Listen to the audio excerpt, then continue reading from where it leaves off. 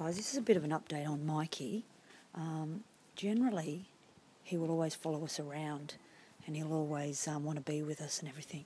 And we've all gone upstairs, all the dogs have come upstairs, it's, it's lunchtime, and little Mikee is so out to it down here on the lawn. As you can see, he is so in a deep sleep, which honestly is just beautiful. He'll, I'll probably wake him and I don't want to, but you can see how uh, in such a deep sleep, and that's very rare for him just to be lying here when we've all moved away. He wants to follow us everywhere. it's just spectacular.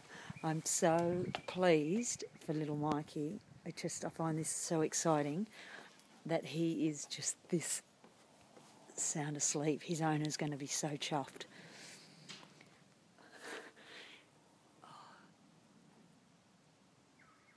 I mean, he is in such a deep sleep in the middle of the backyard. You can see there's all the other dogs have gone. Oh, I'm so excited for him. Don't worry, guys, he is breathing. but he looks amazing. Oh, it's so exciting. He seems so peaceful and relaxed.